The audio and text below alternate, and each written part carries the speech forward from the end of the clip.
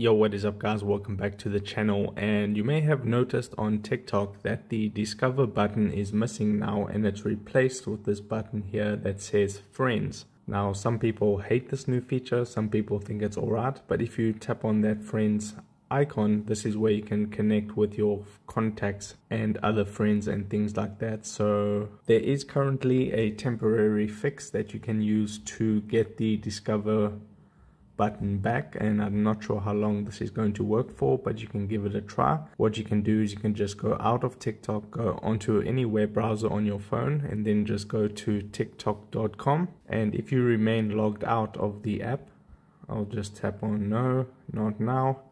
You can see uh, that I'm logged out and here's the discover tab right there or the discover button. I can tap on it and then I can discover users sounds hashtags and so on and so forth. So that's all the information about the disappearance of the discover button. If this video helped you out, don't forget to drop a like onto it and subscribe for more and I'll see you in the next video. Take care.